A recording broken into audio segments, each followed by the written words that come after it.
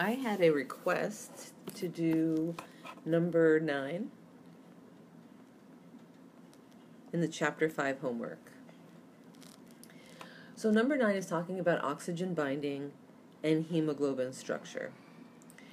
And it's setting up a situation where they're saying that a team of biochemists use genetic engineering to create a new kind of hemoglobin, and the version of hemoglobin they make exists primarily as alpha beta dimers rather than the original tetramer, which is the normal version of hemoglobin that you'd find in living cells like ours. So the question is do these variants bind oxygen more weakly or more tightly? And so these alpha beta dimers, you can consider them in two different ways to come up with the answer that they bind more tightly to oxygen.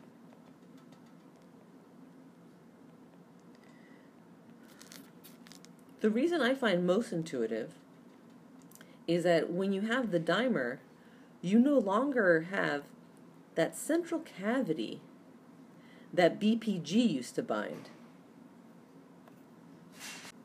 Recall that in deoxyhemoglobin,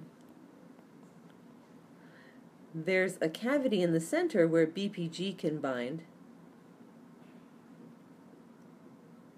But if you don't have the tetramers, and you just have the dimers, you don't have that cavity anymore. So if you just have two subunits, where is BPG going to bind? It can't. So this is really favoring O2 binding. Because without BPG coming into the picture, you're not going to decrease O2 affinity. Remember, BPG is a negative allosteric modulator of oxygen binding to hemoglobin. Now, the other line of reasoning that they give for coming up with this answer is that with just two dimers, you're decreasing the amount of cooperativity happening. So think about it this way myoglobin doesn't exhibit any cooperativity because there's only one subunit. It has a very tight binding to O2. Now, with just two dimers, when you're decreasing the cooperativity, you're also resulting in more tight binding to O2.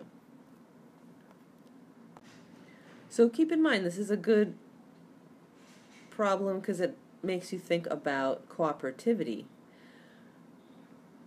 The first O2 that binds hemoglobin goes on with relatively low affinity, but after that binds, it increases the affinity for the next hemoglobin to come on, and that increases the affinity for the next hemoglobin to come on, and that increases the affinity for the next hemoglobin to go on, so that the fourth, or sorry, the fourth oxygen to go on pardon the mistake.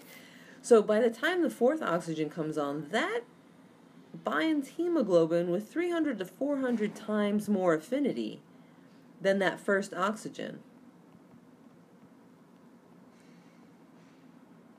So then O2 number one. So think if you just have a dimer, the degree of cooperativity is not going to be as high or as extreme. Hopefully, this explanation shed a little bit of light on this conceptual problem.